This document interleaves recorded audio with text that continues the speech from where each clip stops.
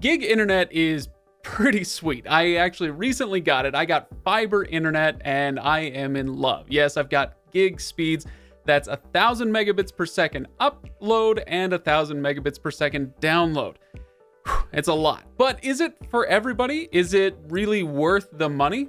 Well, today we're going to look at that. We're going to look at the speeds your devices actually use not the speeds that show up on the box or the speed that you found on whatever blog post. I'm going to show you through an app that I've got with my Eero Wi-Fi system how much speed these devices are actually using so that you'll have a better idea of whether you need those gig speeds or whether you can make do with something a little cheaper. So let's dive in.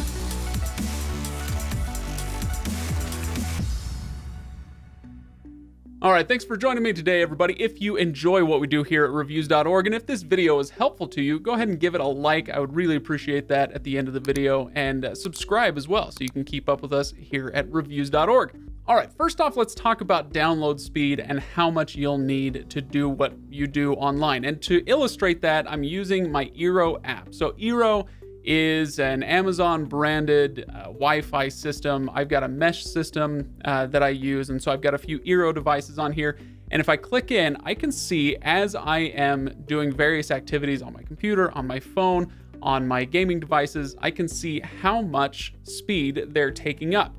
So if we talk about normal browsing, you're browsing the web, you're reading the New York Times or whatever, you're not going to suck up a ton of data doing that. Uh, regular social media consumption, you know, Twitter, not going to use a ton of data, and thus you don't need all that much speed. But then you get into things like Facebook and Instagram, and they want to serve up as much video as possible. And so you are going to see a little bit more data consumption there. And so you need a little bit higher speed.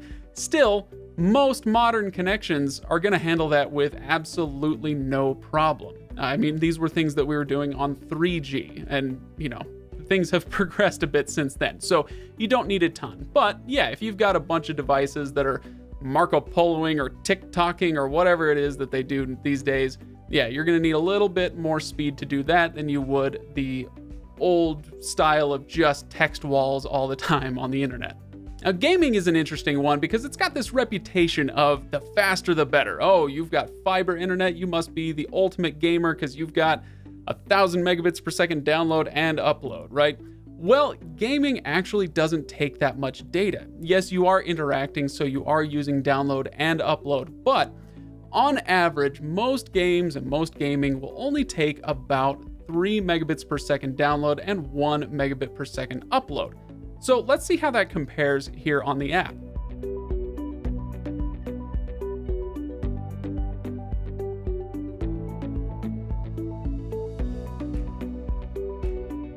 All right, the next one here is smart home devices. If you think to yourself, all right, I've got a million smart home devices, they're all hooked into the Wi-Fi, that's I, I need all the speed in the world.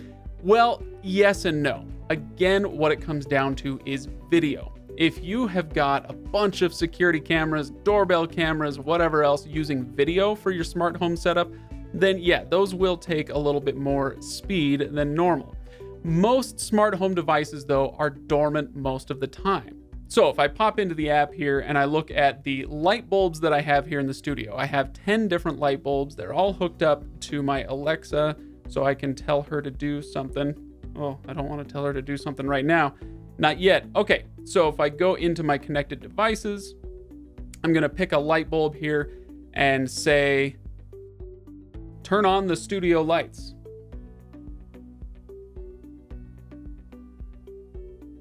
And you can see that barely registers. So those devices, you think, okay, I have 10 light bulbs in here that are all hooked into Wi-Fi, but they're dormant most of the time. They're not using any data, they're not sucking up any speed. And then when you do activate it, Alexa takes up, you know, what is it, a few kilobits per second of data, and then uh, the light bulbs even less.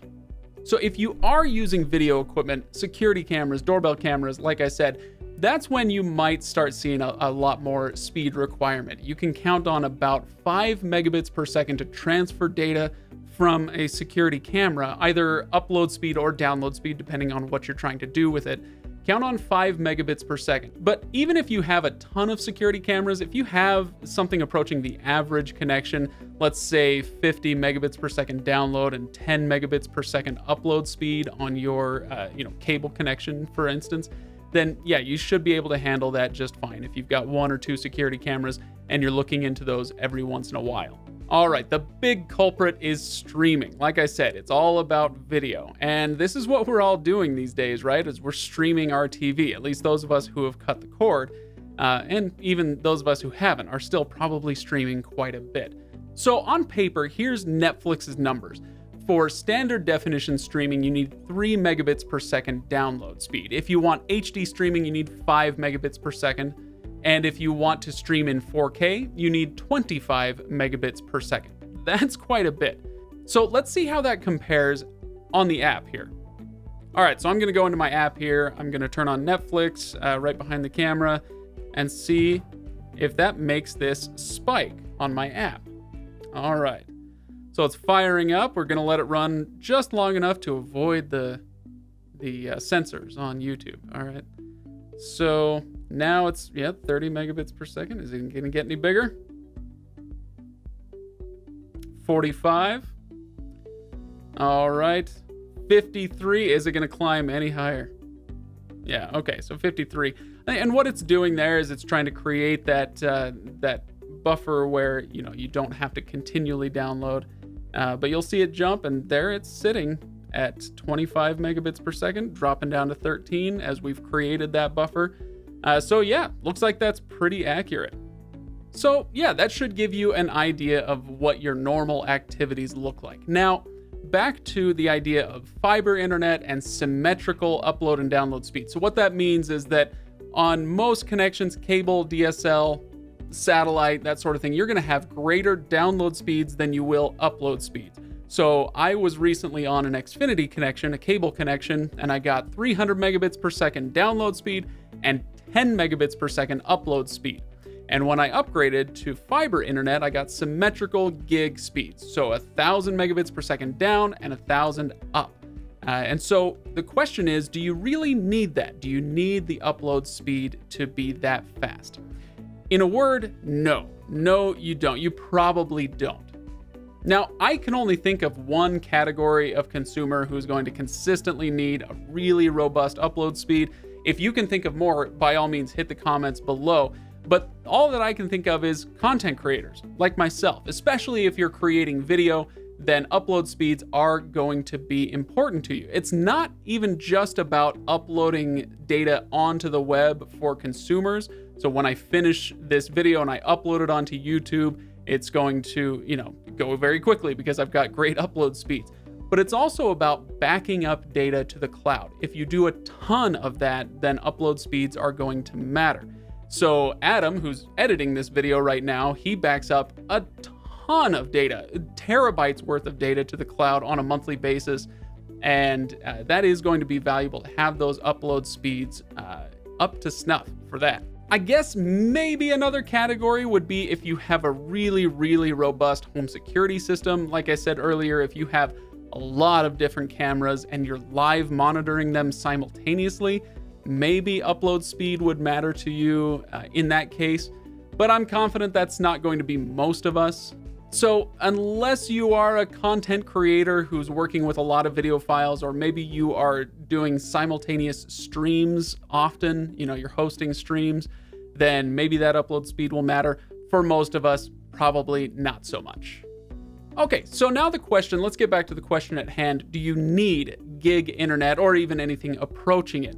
If you don't need it, why is it even available? Why do people pay for it? Well, it's all about the buffer zone, as I call it. It's probably not the best word because that makes you think of the scrolling wheel on Netflix, but maybe it maybe it does work there. so the thing about the buffer zone is if you need 50 megabits per second to run two simultaneous 4K streams, then on paper at least, you could just go sign up for a 50 megabit per second plan, which would be way cheaper than gig internet, right? You can get 50 megabits per second for a pretty low price these days. But maybe you're hitting the evening bottleneck. You're trying to watch shows during the evening and you're on a cable connection that's uh, sharing a trunk line with everybody in the neighborhood. So when they all get on, everything slows down. Maybe that's the case for you. So those numbers, like I said, are smaller than we thought, but they do add up. So if you've got two people watching 4K Netflix streams, uh, but they're also kind of scrolling through Instagram and they're only watching both with one eye, you know, whatever. All that stuff adds up. All the phones, all the tablets, all the game systems. So while you only technically need 50 megabits per second to run two 4K streams, if you never want to see any buffering and you want to watch that sweet, sweet 4K TV at any time of the day, you'd probably want at least to think twice about that 50 megabits per second. And you'd probably want to up that. To play it safe, you go with twice that amount. Or, you know, hey, if you're getting gig internet, then it's 20 times that amount. So, yeah, I haven't seen a buffering wheel in years. It's great. So, the question here is should you get gig speed? Um, maybe, maybe. You can almost certainly get away without it. You can probably do something a little bit cheaper. And who knows, I may be downgrading here if I find that I'm not using it to its potential and I want to save a few bucks every month. But I'll be honest, being able to upload a 4 gig YouTube video in about a minute, it's pretty sweet. So let me know what you think. Hit the comments below. Tell me what your take is on this subject. I'd love to hear from you on whether you think it's worth it and how many devices you have simultaneously using internet speed in your home. Uh, yeah, hit those comments. On your way down, give this video a like if it was helpful to you and subscribe for more videos like this. And I will see you all next time.